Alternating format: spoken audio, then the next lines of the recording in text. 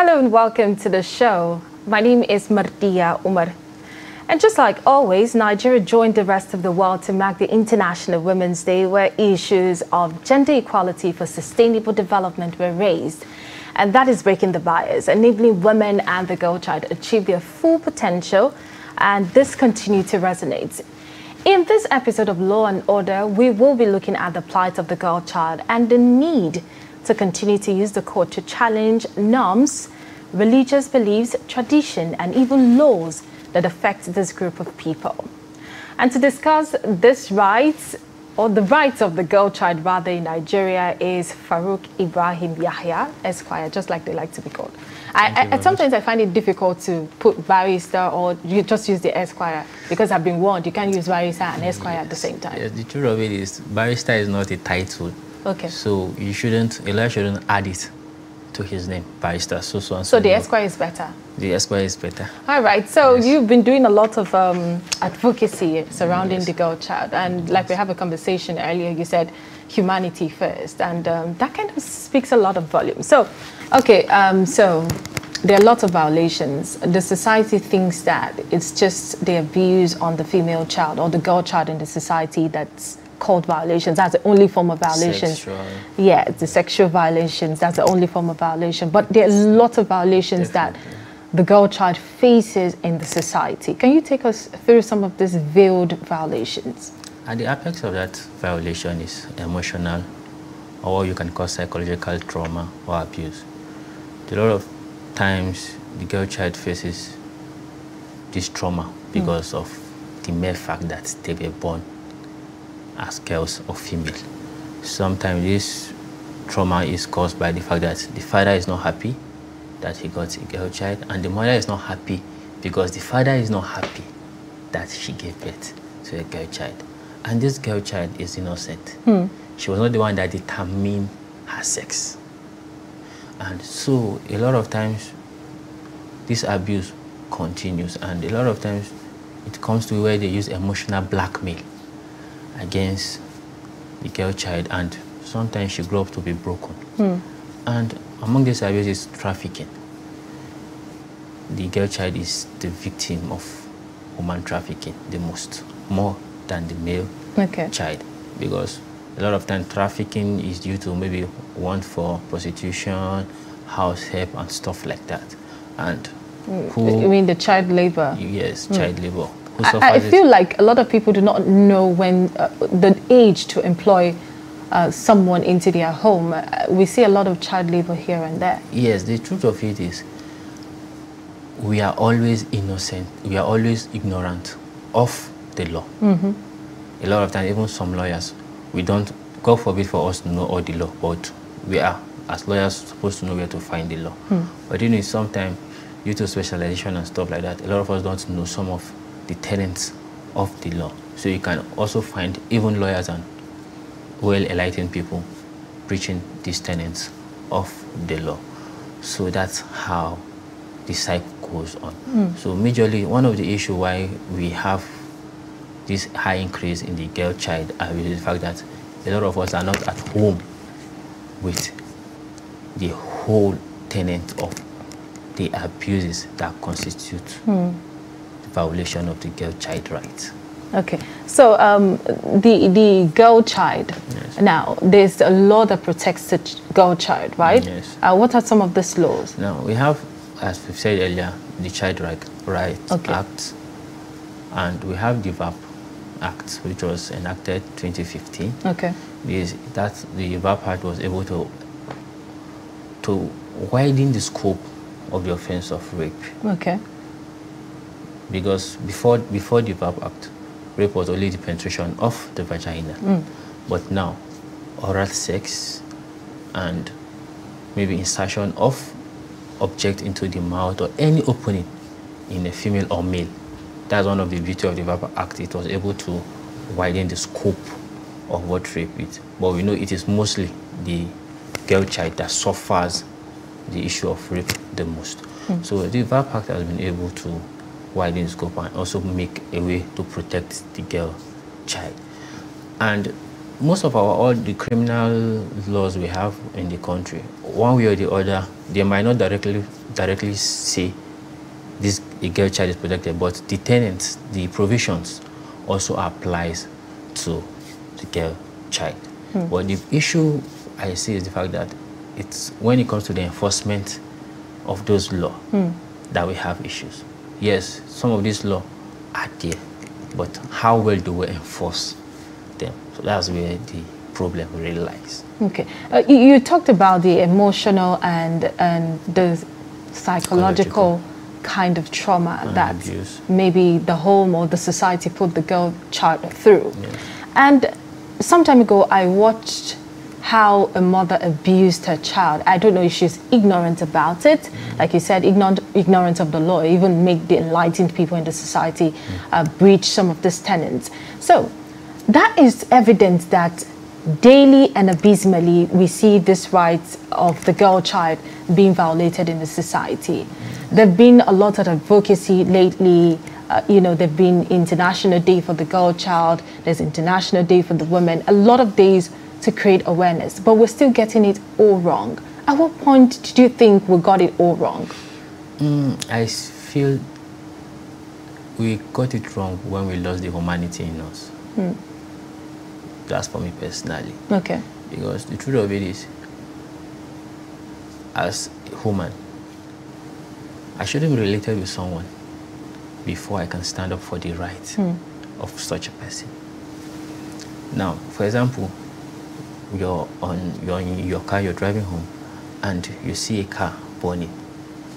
You would, and if you have a fire extinguisher in your car, you would want to mm. assist. Help, yeah. That's humanity in mm -hmm.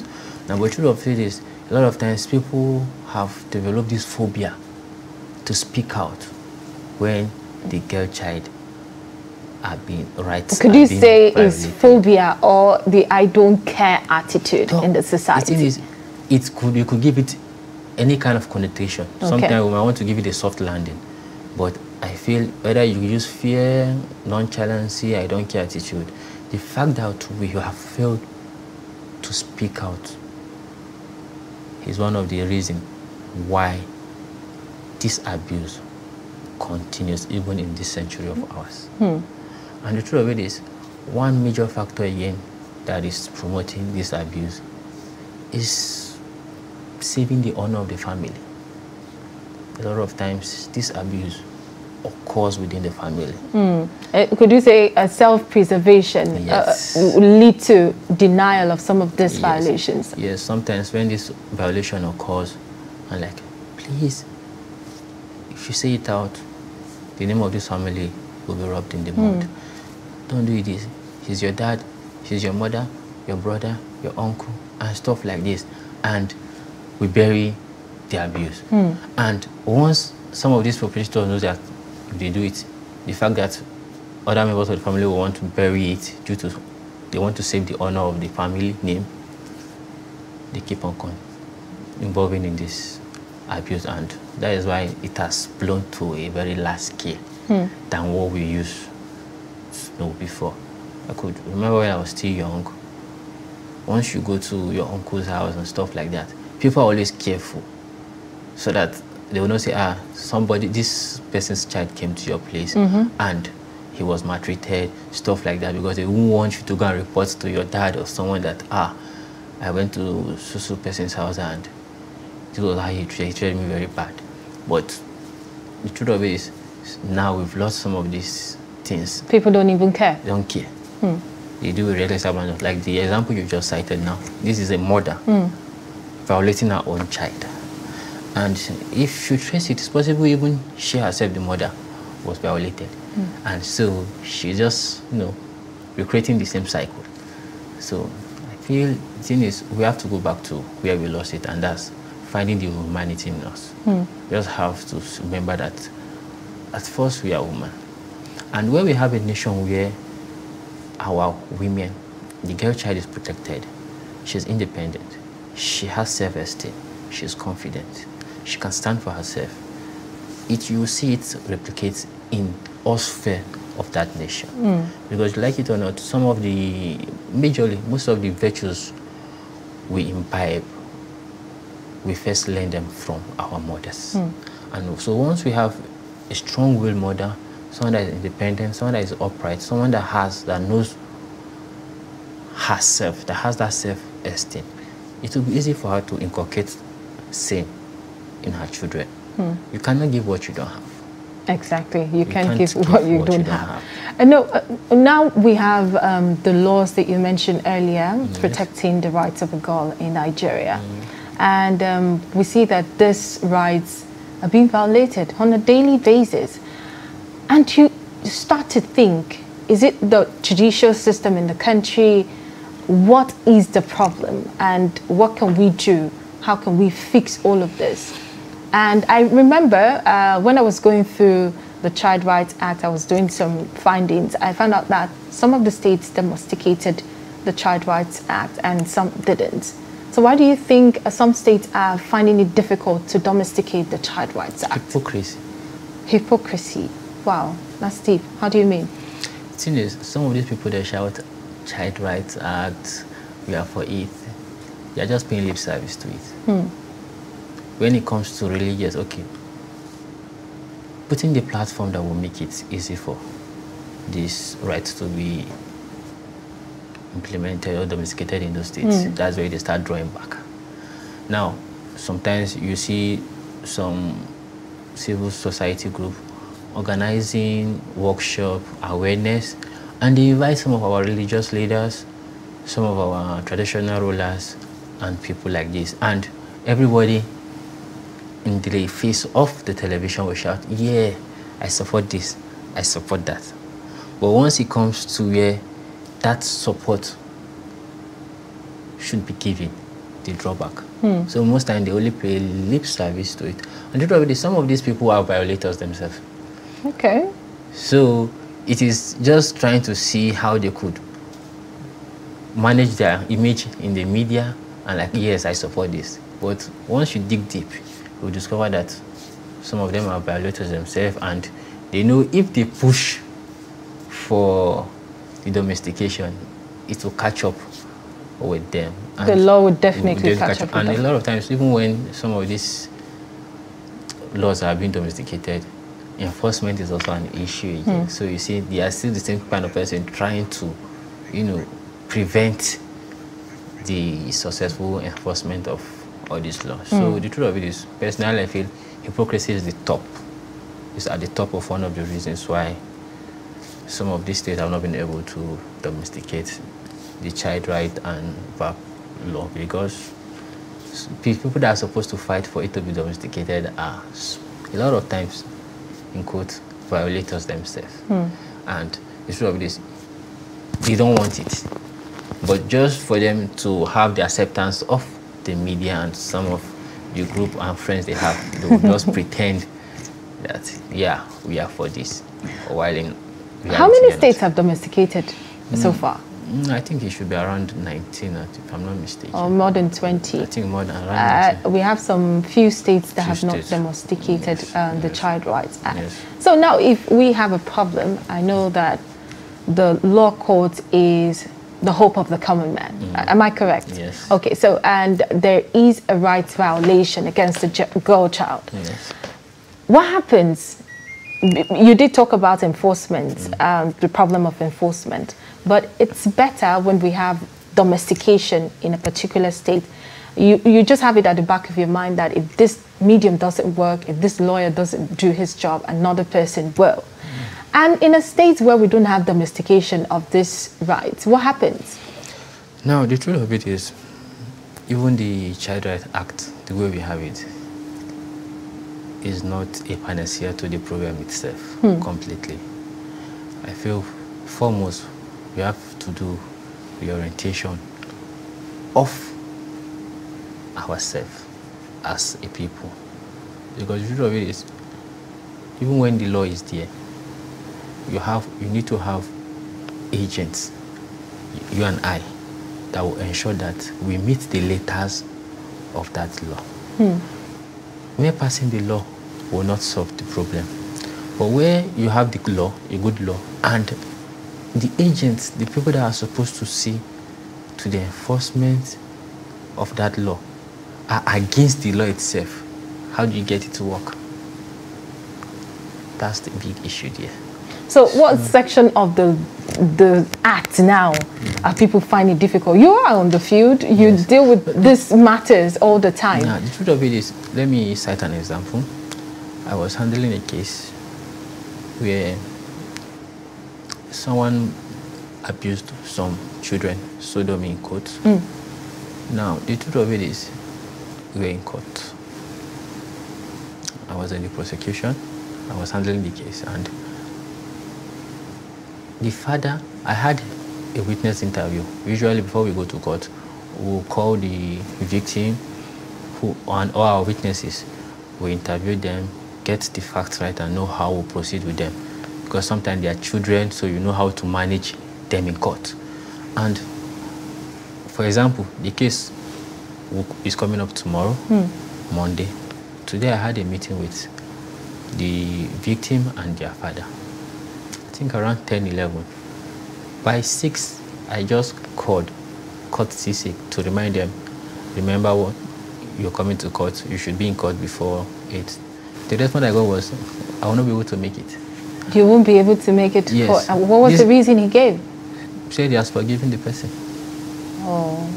So as such matters forgiven because it's already registered. Now, that is why I'm court. saying now the thing is now we as lawyers, the court generally now, the court was not there when this crime happened. Mm. It is only the evidence you bring, in, bring to court that the court can make a pronouncement on.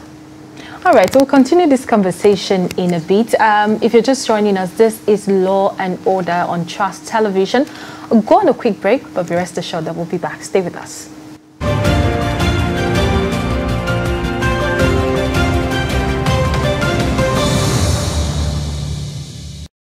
Welcome back. It's still Law and Order on Trust Television, and today we're discussing the Child's Rights Act, but we focus on the rights of the girl child in the Nigerian society. And we've had a guest in the studio, I would say it's a he for she, somebody who puts humanity first. Yeah, somebody who has been advocating for the rights of the girl child in the society. Thank you yes. so much. Um, Farouk Ibrahim Yahya Esquire. I'm, I'm, I'm, trying so much not to put the barrister in front because you already you won. Much. So thank you so much for thank being you. here. It's my honor. Now, um, there's a lot of things happening, and we did talk about what happens. Before the break, we we're talking about what happens to a girl child yes. in a state where the Child Rights Act is not domesticated. So what happens? Now, the truth is, the law as we have it, even in those states where they are not domesticated, the law in a way can still protect those rights. How so? Based on the fact that they are human and crimes generally, some of these crimes, either in the south or in the north, we either have the penal code or the criminal code. Okay. And some of these offenses that we want to protect the girl child against are contained in this law. Okay. It's just that sometimes the scope are limited but mm. in a way it can still protect. Just like we have problem yes. of domestication of the Act yes. in some but states. the truth of it is, like I was saying earlier, mm. once we as a people are ready to fight these violations mm. to a standstill, it will be easier because once we have that collective will, passing the law will not be an issue. Mm. But the problem is the fact that we are still facing the issue of passing those laws because of we don't have that collective will. Mm. We are still divided. But the thing is, nobody will come and tell you that I'm against the domestication of the Child Rights Act or the VAPA. They will not come especially to tell you. But within themselves, they know they will not support mm. it. So that's why we are still having issues of the... But truth of it is, once we have that collective will that we want to protect the, girl's the girl child, definitely protecting the girl child will not be an issue. Hmm. It's just that the fact that we lack that will, collective will, to protect the girl child. That is why we are still having issues of the non-domestication of some of these laws that would want most states, if not every state in Nigeria to domesticate. I, am happy that you talked about, you know, we being human first and we need to protect the rights of the girl child because if we bring up girls that are, you know, that are not broken, that can stand for their rights. That's how we have women. And of course, this is like um, a continuation of the International Women's Day, educating people about their right, the norms and the culture, cultural beliefs, the religious beliefs that has, you know, put women in a tight corner, not allowing them to reach their full potential is actually a bone of contention. And that's, of course, we're discussing, that's why we're discussing it here. So now, like I said earlier, the, the court is the last hope of the common man. And some of these offenses, some of these violations, come with a lot of consequences. People do not know about that.